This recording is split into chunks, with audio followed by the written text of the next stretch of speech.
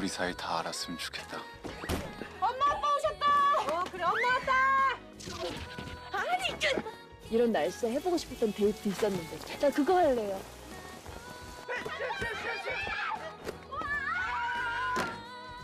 우리 태무 만나지 말아요.